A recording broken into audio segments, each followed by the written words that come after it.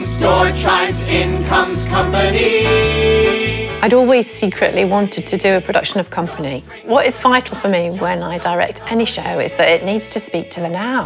Come on over for dinner. We'll be so glad to see you. Bobbie, come on over for dinner. I wanted to work with Marianne, and she has a vision of it. I admire Marianne so much.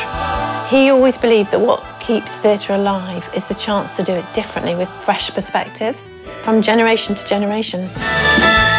The Olivier goes to Company. Company. Company. The cast of Company. Marianne Elliott, Company. And the Tony Award goes to Company. We had the most amazing night. It was so funny, so witty. 11 out of 10. I saw this this very production in London, and I couldn't stop thinking about it. I love this show. It's my favorite show. We wanted it to feel contemporary and fun. Because she's a woman, everybody has an opinion about what she should do. Then you leave a person dangling sadly outside your You're going to have such a good time.